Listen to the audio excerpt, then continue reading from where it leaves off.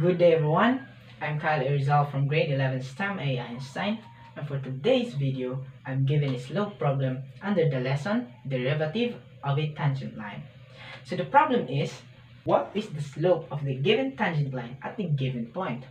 So in answering these kinds of problems, we must have two things to prioritize. First is that we must have a tangent line. So a tangent line is y equals x squared. And second, we must have a point.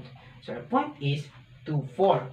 But we'll only be using 2 on later's substitution. So the x value. The first thing to do is to find the derivative of y equals x squared because we know the fact that derivative is also known as the general slope formula or a formula that will give us the exact value of the slope. So we can find the derivative of y equals x squared in many ways or there are several ways but power rule is the most applicable one. So power rule states that n x raised to n minus 1 or bring down the exponent n, copy the variable x, and raise to the power of n minus 1.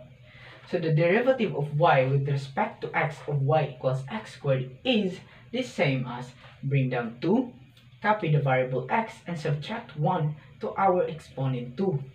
We'll have 2x raised to 1 or the same as 2x. So 2x now is our derivative or also known as the general slope formula. The second thing to do is to substitute our x value to our general slope formula. So we'll have 2x, substitute 2 to x, we'll have 2 times 2, and the answer will be 4. Therefore, the slope of the tangent line y equals x squared at 0.24 is equal to 4. That's all. Hope you understand and thank you for watching.